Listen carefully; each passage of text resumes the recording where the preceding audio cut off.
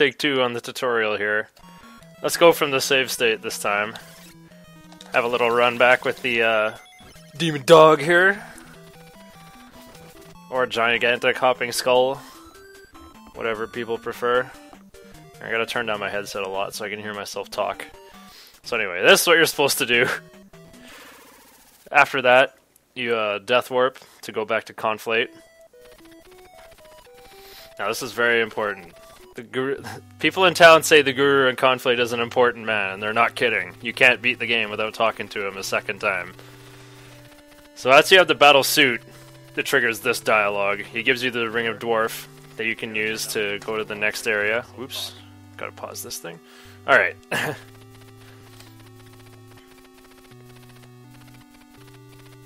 so he talks a lot about, you know, you need the other battle armors to use the Dragon Slayer, but we don't want to use the Dragon Slayer. We're just gonna, you know, beat the game. Oops. Okay. So I screwed this screen up badly. I'm gonna do it again. With meat. Just gonna frame skip my way through it here. Thanks, Bill. Okay, so watch my input display here. Oh, that was too fast. Okay. Whoa, you can jump over that fireball? Okay, again. Bill, hook me up! okay. So what I'm doing here is going for a double stab. Yeah, like that. And then a deluge to follow up. See how... Now that I have the magical rod, it only takes one deluge and two hits from the longsword to kill those white mage enemies. So yeah, jump jump up the stairs so you can get halfway up there. So now health is really important in this last section of the game. So I'm actually not going to walk through that guy. Now you want to revisit this screen as well. This one with the two birds on it because there's ointment there. We're going to use it to get to the next town completely hassle-free. Except not. Did I miscount? Or did going into Conflate secretly alter my counter?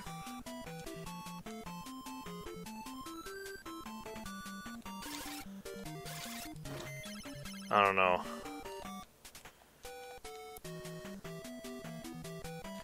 I'm distraught. But anyway, this is supposed to be third visit.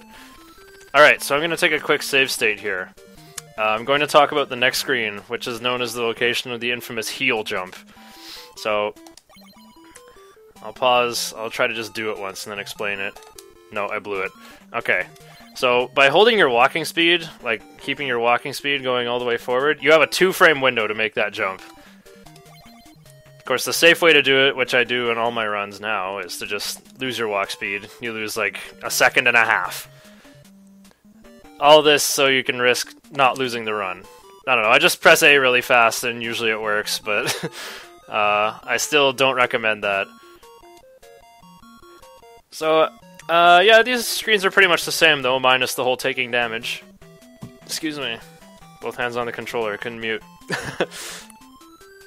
You know, this guy runs around, you ignore him because you have ointment.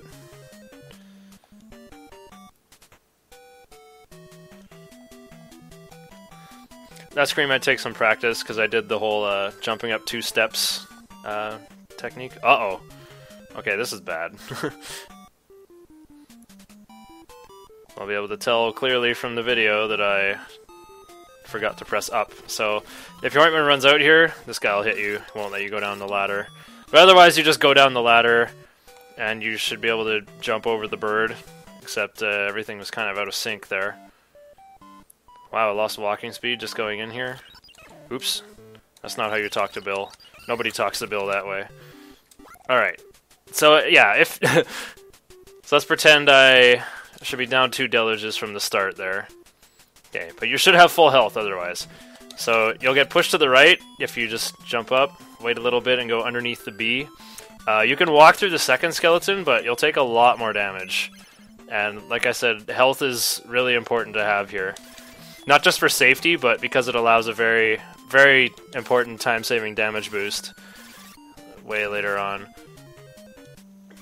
So you can't open that door unless you have the Ring of Dwarfs, so especially remember to talk to the Guru in Conflate punch this guy once to get him out of the way. Get your health back. Uh, I'm going to take another save state here. This is the normal way to do it, but oops, you have the option to go off to the right and you'll get damage boosted. But this costs a fair bit of health, and you will barely survive the last section of the game, so I I don't know if it's worth saving the however many frames. Uh, you have to wait a little bit. Actually, yeah, I'm gonna load the state again, just to show what happens if you uh, if you do that screen with the bees on at full speed. And I'm just not gonna shoot a deluge there. Only saves frames. But yeah, if you go full speed here, you go to jump, you bump into the bee. So, just take the time to get yourself lined up on the ladder.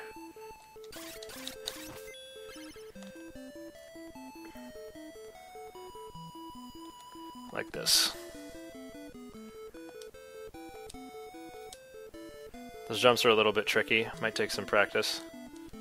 So this guy dies on a double stab and a deluge as well, but it might take you a while to learn like how close you have to get to draw aggro. Okay, so here's where we use wing boots. I'm gonna do the... Actually, I'm gonna do the no pausing first.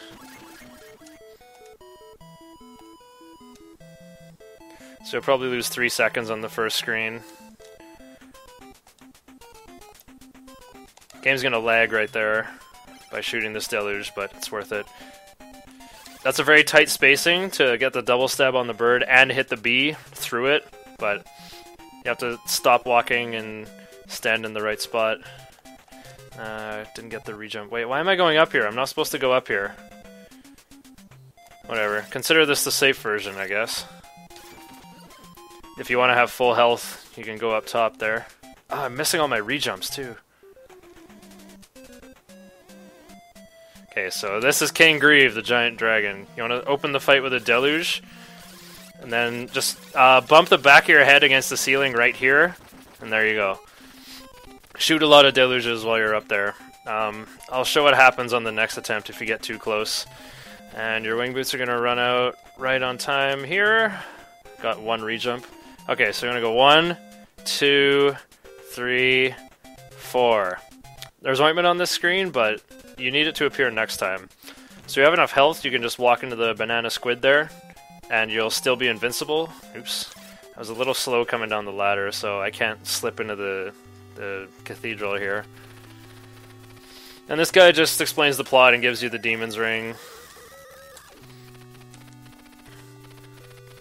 So, um, I have so much health I can just, like, ignore whatever this thing does. I can just go like this.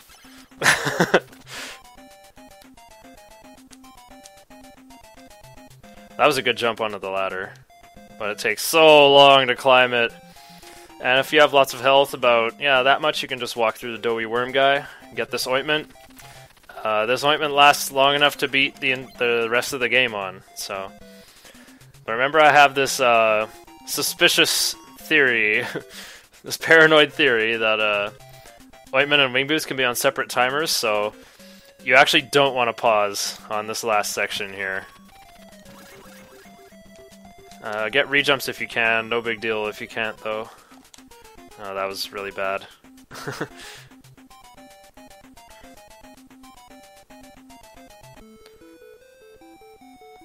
Jump again, because there's a little peg keeping you from walking into the next screen. Oh, I'm missing all my rejumps. I'm so rusty at this game. And that's also really bad. Uh, you can...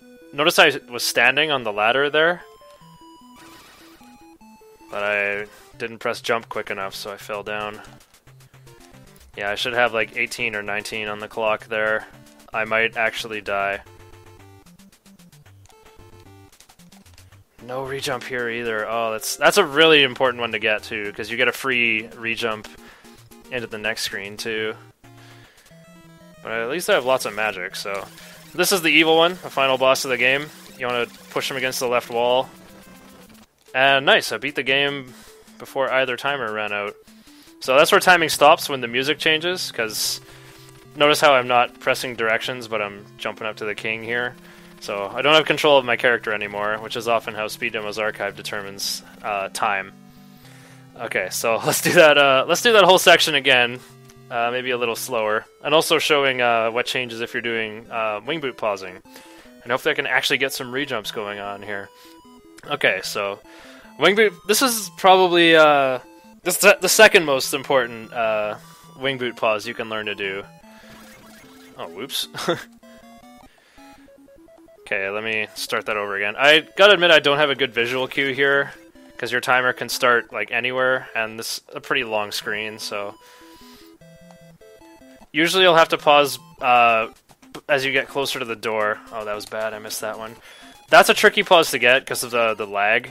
I'm just going to take a deep breath there. I'm going to lose that wing boot second because it's more important that you don't take damage and uh, get that bird out of the way. Bird does a lot of damage. These pauses are really bad though. Uh, this screen's pretty easy. I just like get a feel for it based on what the Minotaurs are doing.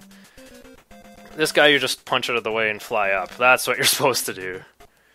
Oh, that that was a good attempt. That pause there. Um, okay, I was just so mad. I had to go for that uh, rejump again. So again, same thing. I don't pause during this fight because there's too much lag, and you want to be focused on well mashing and doing the deeps. Okay, that was good. 14 on the clock is pretty good. Take a deep breath before the door. You often lose a second right before the door. Got that rejump there. That was good.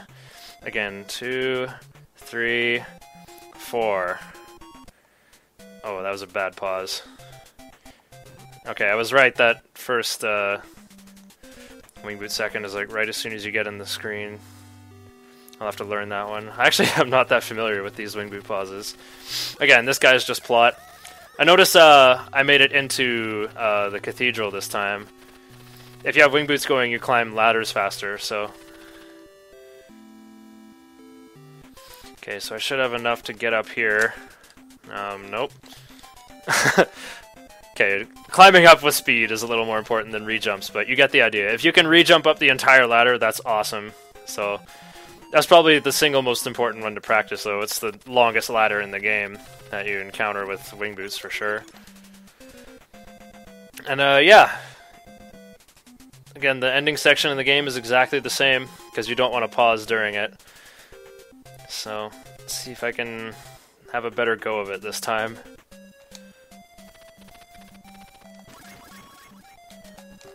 Oh my god, I can't do rejumps today! Can't do rejumps ever! You're gonna lose a second right before you get out of the door. Try not to worry about it too much. So let's see if I can do this properly. Okay, that was good. That was really good. Normally you always have 25 on the clock, but I have 26, so that means I'm ahead. That's the power of rejumps. Save you a wing boot second when you otherwise couldn't.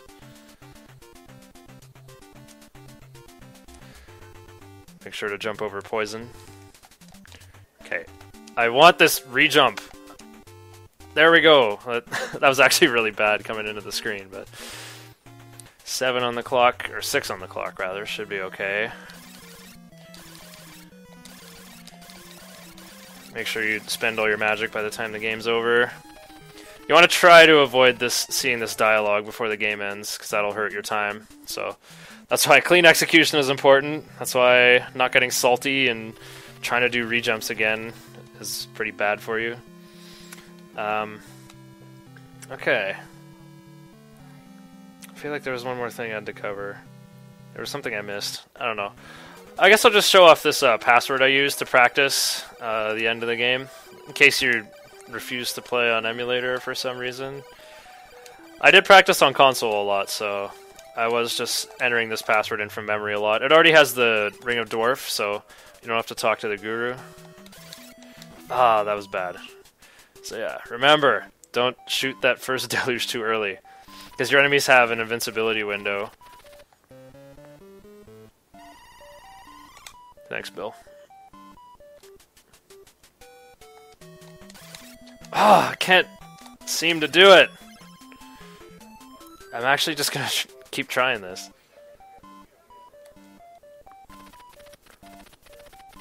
Of course, if you want to spare your magic for the, you know, those two boss battles, each of the each King Grieve and the evil one each have 250 HP. There we go. I feel like there might be a way to just uh, take them both out without taking a hit. I should practice that on stream later. I'm just going to quickly restart the stream when this is over though, just for easy highlighting. Okay, so one, Two... Let's see if I'm right about the screen outside of Conflate secretly being an item screen. Oh, I... Wait, no. That's not it at all. It's because I used a password. It's actually on fourth visit, which is right now. There we go. So there's the ointment. I guess I'll show off uh, how to recover in case you miss the heel jump and fall down.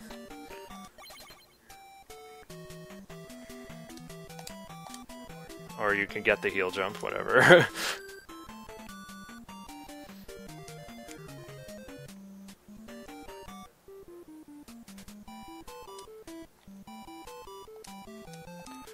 Yeah, those stairs are really awkward. Remember to jump.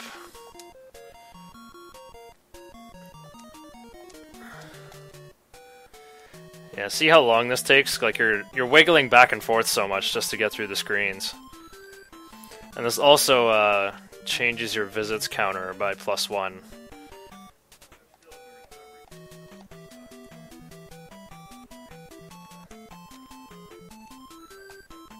And yeah, don't don't fall down on these ladders. That's why I wanted to do this again. But my ointment ran out already, going as pretty much as fast as I could. That ghost is serious business. And I guess I'll show it, uh, if you don't want to use magic on the screen outside of this town, I guess I'll show what that looks like, but I'll show you how much damage it takes. It's just not worth it. That guy will push you to the right. Maybe it is worth it, actually. That seems a lot faster. Hmm. I'm gonna keep going and see if I have enough health to do that, uh, really important damage boost, as I called it.